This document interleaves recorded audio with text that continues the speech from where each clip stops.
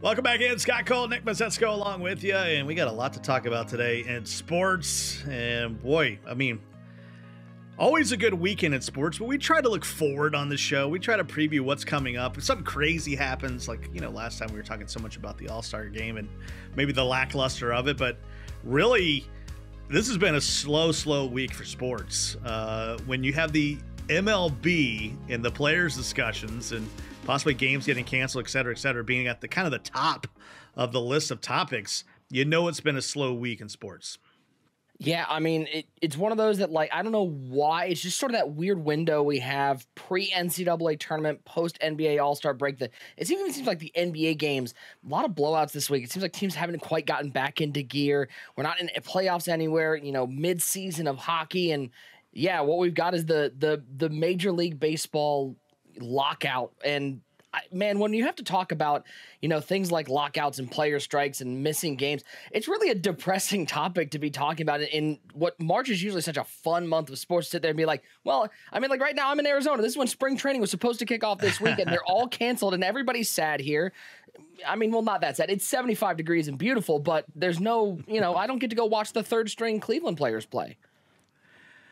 Yeah, so, yeah, we're missing split squad games right now. I mean, how, uh, heaven forbid. Uh, but I mean, it's a thing where apparently the Players Association is even more unionized than they've ever been, even since the 1994 strike. So, and I think the big thing is, is you know, the players to get these, you know, to get these seasons in for these last couple seasons dealing with COVID, they've taken some pay cuts and now they're looking for like, hey, we'd love to get see some more of this revenue. Yeah, there's so much that's going into this, and I know it's like it's really easy. The buzzword that you see people put out there is billions against millionaires, and you know, here's the thing: with all that goes into it, and baseball already has the most complicated salary cap. We see it's a soft cap with a luxury tax, service time, and you know, arbitration. And I'm just throwing out buzzwords at this point, and, and most people have already zoned out. I think that's the tough part is that you know we're listening to these negotiations, and you're seeing the reports come out about how you know Major League Baseball has made concessions here, the Players Association has made concessions here, and I think the grand majority, ninety nine percent of the people who don't pay attention to baseball or aren't that hard into baseball are watching this going. I got nothing. Like it, this is not as simple as, you know, I want more wages and more cut of revenue. There's just so much that both sides are trying to negotiate that I think that's why it's maybe fallen a little bit to the wayside. I feel like not a lot of people, even though it's a slow week, yeah. This is like fourth on ESPN. Like the, it is buried on a lot of these news sites because I just don't I think, think people understand the, it and want to talk are over uh, in the NBA and the NFL draft's way past. Uh, it's like just give us somewhere to go this summer where we can have a hot dog and a beer. If you haven't figured out by then, then we'll get on board. But you're either hardcore, right? You're either all in, you can't wait for pitchers and catchers to report, or you could care less, right? I mean, maybe you care about your hometown team and where they're at, and and hopefully, you know, they're not out of it by the time that you care, uh, which has been the case a, a, lot of times in baseball, which continues to. It's just ugly, right? I mean, the Bonds and Clemens things, this Hall of Fame thing, this holier yeah. than thou, afraid to change, all about tradition. Well, you know, what's it worth if you're not playing? Just play. You're making millions, billions. Just play. Well, and what's and what and, and the crazy part is, I mean, this is you know, this doesn't even get into what Manfred has been looking for over the last 10 years, which is trying to recapture that casual base, that casual fan base with things like, you know, the new extra inning rules by putting somebody on second base and pitch clocks and shortening the amount of breaks. I mean, they've been trying to capture this group of people who've fallen out of love with the game of baseball because it's too slow. There's too much going on. I don't really want to watch it on a Saturday afternoon. I'd rather go play with the kids. And this is only going to hurt them more. Now, now the number one thing that people are going to think about baseball is canceled no. games because there's no way this deal is getting no. done without losing some sort of regular season game. They've already missed spring training, which, you know, we laugh at split squad games and all that, but, you know, in Florida and in Arizona, this is where, you know, an activity that parents take their kids to and have some fun out there at the smaller ballparks and meet some of these players. And now they're going to miss some those games and they're going to miss some of those regular season games. The PR nightmare Major League Baseball has right now. I don't know if they could ever recover. They've been trying this. to recover for a long time. you know, moments of greatness, right? Flat yeah, flashes in the pan, right? Like the, the All Star game is never what it has been. I mean, it's just that that part's kind of over, and uh, we've kind of just fallen out of love. And I and I think a little bit of some of it is, hey, we're in a Twitter highlight world, right? I mean, it's uh, We much rather watch Ja Morant go crazy. We'll get to that in a moment. Than than deal with this stuff right now. It's like there's so there's too much going on, right? Video games yeah. have taken over, streaming services. I mean, when you when you would you rather watch a nine inning game or binge four episodes of Yellowstone, I mean, people are going to watch Yellowstone. That's uh, I hate to hate it. Boy, and, and by the way, you want to talk about the tough part? Have you have you yes. like Major League the Show? It's a fun video game, three but innings. nobody actually plays a yeah, nine three. inning game in that. They all play like yeah. the shortened four or six inning because even they don't want to play a full nine inning game. Head. And I don't know, maybe we should go go to three innings. I don't know. uh, nevertheless, let's move on. Um, we you know we talked a lot about the NBA uh, and the lacklusterness of the All Star game, and then how great uh, Steph Curry is. Uh, that leads us to like let's just start talking about it. We're on that All Star, you know, post All Star game stretch of, you know, it's the the it's like a third of the season. The All Star game's never at the halfway point. There's like a third of the season left, and certainly the hottest topic yeah. right now is James Harden and Joel Embiid with the 76ers. People are ready to crown them. They're like, go ahead and give them the Larry O'Brien trophy. Yeah, it's, you know, I love what I've seen. I mean, it, let, take it for what it is. They've only had a couple games. They haven't, you know, exactly played the the murderer's row of the NBA, but obviously the high pick and roll with Harden and Embiid looks really good. They've surrounded them with shooters. Tyrese Maxey looks very comfortable, you know, yeah. running the point but playing more off as a two actually once he gives the ball to Harden run that pick and roll. My concern for the Sixers is their bench. There's not a lot of depth there. You've got Korkmaz coming off the bench. You got Niang coming off the bench. Nobody's sitting there going, "Oh yeah, Korkmaz is in the game. Finally, we're we're in good shape." I don't love their depth. I don't love the fact that they lost Andre Drummond, who even though the Nets are struggling, Drummond was a nice piece, and now instead of that, they have Paul Millsap, and I don't think Millsap fits in very well. So I still think the Sixers maybe the best in the East. Miami probably has something to say about that because they've looked really good, but certainly teams are not looking forward to facing this high pick and roll with with Harden and Embiid, especially with a Harden that looks motivated to play. Yeah, uh, I think he's ready to just he's happy to be back in back in the talk. And what I'm loving, first of all, is like I'm I'm glad the NBA is back to the dynamic duo, the super teams have proven not to work. Whether it's been injuries or people getting older, it just doesn't work out. I'm glad to see the like the dynamic duo with some hot rookies kind of being like the mix because that's when I think mm-hmm. about the NBA for for decades. That's what I think about is all right. You, you got you know Magic and Kareem and, and, Jordan and Pippen and you know those kind of uh, duos. I'm, I'm hoping the the edge of the super teams is done. So with all the moves, right?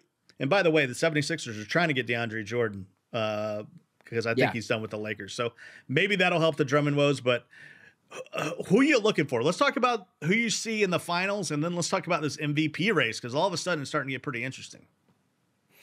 So finals West, I still have the Suns. I think the Phoenix Suns are the best team in the West. Once they get Chris Paul back, Paul's going to miss six to eight weeks with that fracture in his thumb. Obviously, the team looks a little different without him. You know, more Devin Booker running the point, but I think they're with Chris Paul, him running with Ayton and Booker. It's they're darn near unstoppable. They got depth on the bench. They got shooters. Um, if there's a team to upset and maybe make a run, Memphis is hot right now, and I'm telling you, Ja Morant might be the most exciting player to watch. Uh, I don't know what that what he's got I, in the I last ten years. Uh, I, uh, it's unbelievable. And you know, you add in Desmond Bane and Jaren Jackson, they've got a really solid squad. But I still think the Suns are the class of the West. East is a little more murky. I'm gonna wait to see on the Sixers to see how they mesh going forward. I think two games, and I think one of them is against the Timberwolves, who are one of the worst teams out there. Like, I'm not going to like crown them champs quite yet. Um, I really like Miami. I think as long as they stay healthy, that's their key. Tyler Herro, Bam Adebayo, OG, and like the, the, the that team is tough. And you know, if Duncan Robinson can find a shot because he is so streaky. They're tough to play because they can score from outside, they score from inside. Um, I think the Heat are probably the class, but the East to me, I don't know about you, Scott. The East is murky because I feel like there are Real three or murky. four teams that can make that run. Yeah, I mean the West is clear. Obviously, you know when you look at Phoenix, what they've done on the road this year it tells you alone like this is this is a team that's meant to go through the playoffs, right? And perhaps have yeah. short series and not and not drag things out and possibly should have already won themselves, you know, uh, a couple titles there with Chris Paul, and it just shows, man, how good CP3 is uh, and what kind of impact he has made for that team. We'll see how they do with them out, you know, if they if they can you know, sort of maintain out there. Uh, but for me, uh, you made me to go first on the picture. You you started off. Who, who's in your finals? I heard I heard all this yabber yabber yabber, but I never got down to this team versus this team. Who do you got? Uh, I'll take I'll take the Suns and I'll take you know early in the season I was high on the Bulls, but I think the Heat. I think it's gonna be Suns Heat. Um, the one question mark: What does Golden State look like once Draymond Green gets back? Because that team looks kind of out of place without mm. him, but he's supposed to be back soon. He's the one thorn in Phoenix's side that I'm worried about. But I'll take I'll take the Suns and the Heat right now. You got uh, you got any dark horses? Um, East, uh, I, I, think the East has the most dark horses. I feel like I just got this feeling about Chicago. LaVine, mm. Ayo's really come on nicely in that point De- guard DeRozan's role. just going crazy. I mean, it's DeRozan's just... going wild. Vucevic is a beast in the middle. The, my one concern with Chicago is I don't love how they run their offense. You get a lot of ISO ball with DeRozan, and while he can put up 40, if he's not shooting well, your offense is dead. I don't love it, but um, I think with the, the amount of weapons Chicago has, they certainly can make a run deep in the East. All right, here's my pick. I'll, I'll, I'll throw some explanation out there. I got Warriors and Bucks. That's that's gonna be that's that's my pick right wow. now. For some reason, I just feel like Steph Curry's on a mission, right? And you're right. If and this this goes for you could say this about a lot of teams. If they could get healthy, right? If they could get their players back, right? Um, I just don't see any of these playing teams making a run, right? And I'm I was off this Lakers team from the beginning, right? It's just like we've seen this happen before where you try to take a bunch of stars that are past their prime. Tip of the cap to LeBron, even though I'm I'm not a big LeBron fan, as as people know. I'm a Jordan guy, but I mean the numbers that he's put up with all the absences of AD and just Russell Westbrook can't throw it in the ocean right now. But for some reason, I feel like Steph Curry's on a mission. I think the popular pick is Phoenix. I think they're the most prepared for it, especially if Chris Paul comes back and he's and he's good to go. I just love that no one's talking about Milwaukee and Giannis is just dominant. The team is built to be in the playoffs. If I got a dark horse, I think I, I for some reason I like Memphis. Uh, even when uh, yeah. Ja Morant missed those twelve games, they held pace. And by the way, watch out for the Nuggets if they can get some of their people back. Speaking of, eh, can we get some people yeah. back? Uh, the Joker's been doing a great job and maybe putting together an MVP season, and I think that's a nice segue into who you got for MVP. Eh, you know, you don't have to give me the you know the number one, number one, but who do you got at least in, in the conversation? I mean, for me, I think you're looking. If I was taking one name off the top of my head, to me right now, Ja Morant is not just the best player in the league, he's the most exciting player in the league and he's the most valuable to their team.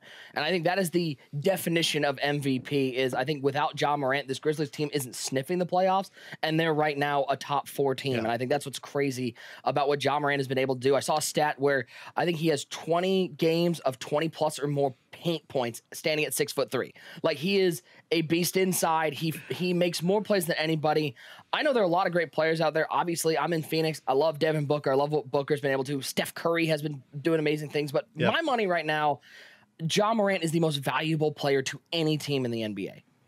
I, I mean, when's the last time you've seen somebody that can make a 34 foot jump shot and dunk on seven footers? It just that's a combo you don't see too often, especially at just a little bit over six feet. Um, he's got a little Allen Iverson to him too. He's just he's just a human highlight yeah. machine. And remember, uh, you know, this team is kind of built like that Philly team was for Iverson, where it's like, all right, Ja Morant's going to run the show, but we picked up some nice players that can, you know, let Ja be Ja. So I would love to see the Grizzlies there. I would love to see Ja Morant um, as the MVP. I think Joel Embiid's got a real chance at it if he can maintain the same stat line with Harden, right? If he's still dominant mm-hmm. with, let's be honest, I'll just say it with the ball hog that is James Harden. Um, yep. and Harden seems fine just dishing it to him. So if if Harden is wanting to share the sugar, right, and, and as long as they keep winning, and I think Harden has always been willing to pass on a team that's winning. Um, yeah. Uh, Joel Embiid is probably the leader in the clubhouse, to be honest.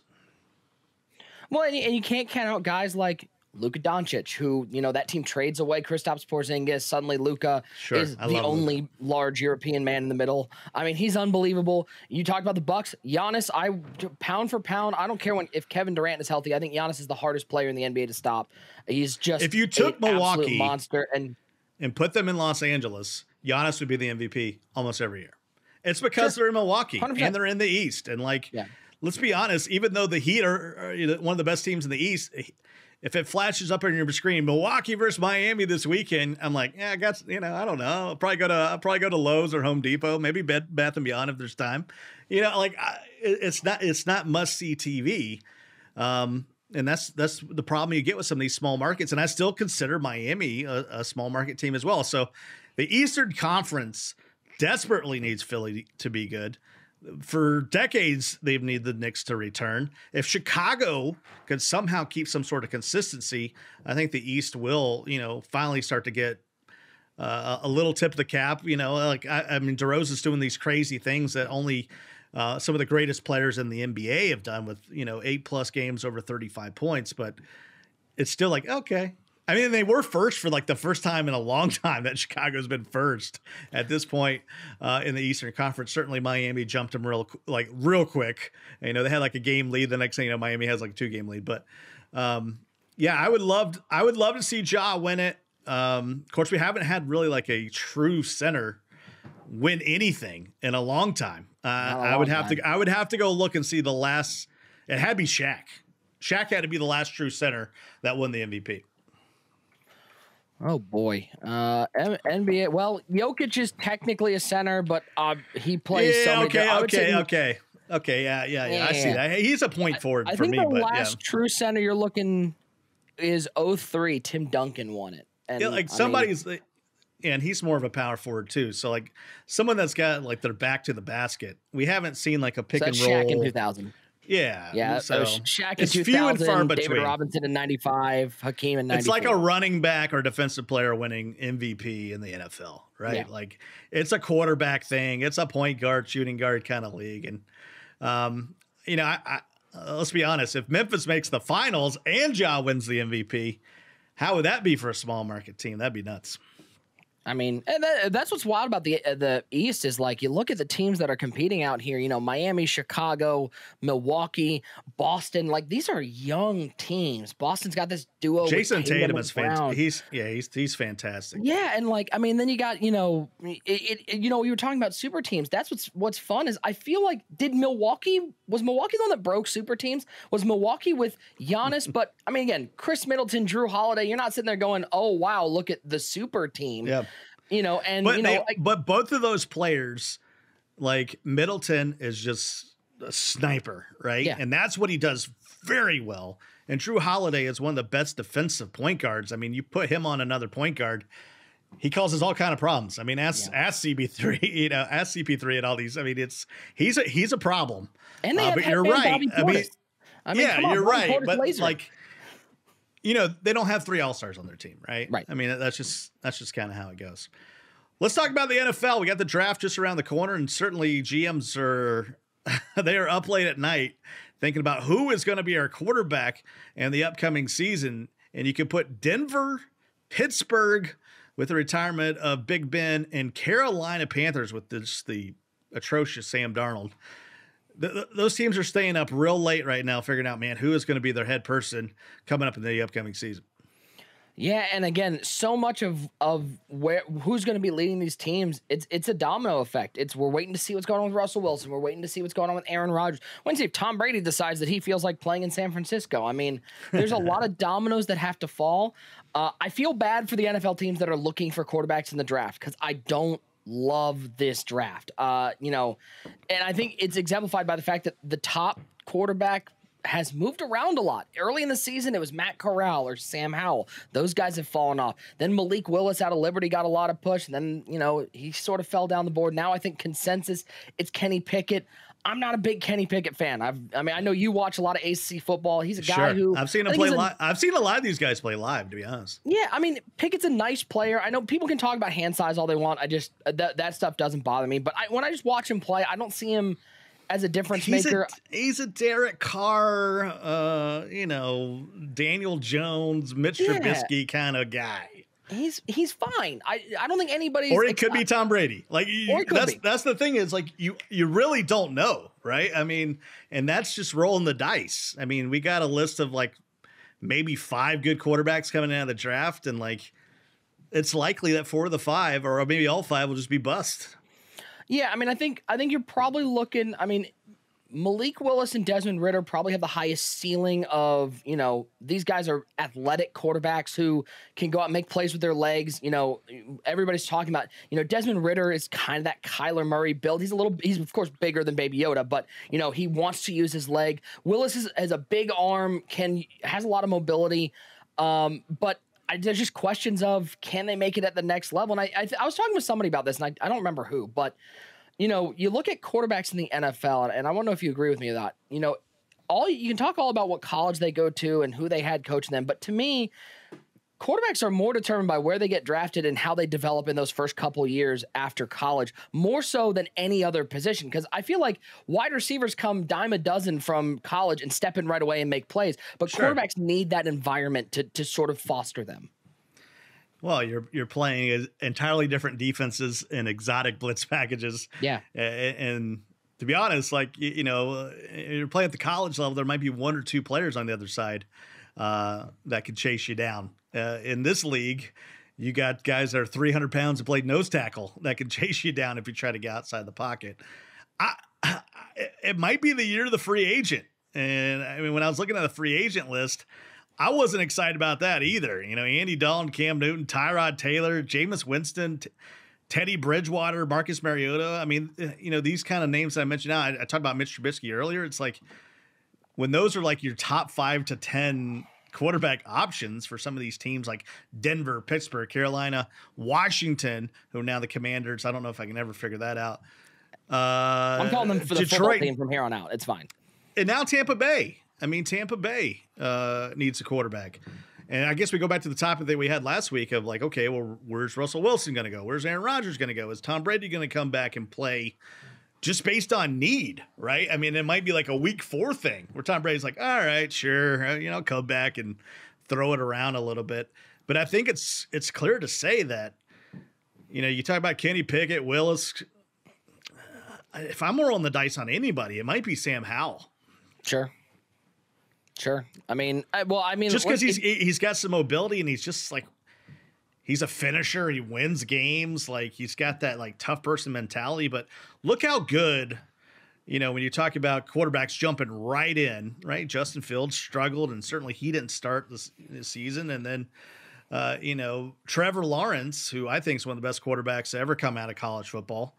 It's tough, like just jumping right in, especially when you're probably going to get if you're a good quarterback, you're going to get drafted by a bad team. Even though Mel Kiper doesn't see Kenny Pickett coming off the board until uh, you know number 11 or so if if Washington decides to take a quarterback uh, in that first round. If they don't, he could drop even further than that. That should tell you how weak this quarterback class is. Yeah, the other interesting thing is, you know, there are a lot of quarterbacks out there that might be available by trade outside the big names. Carson Wentz in Indianapolis, Sam Darnold, we talked about. somebody feels like taking a shot on him.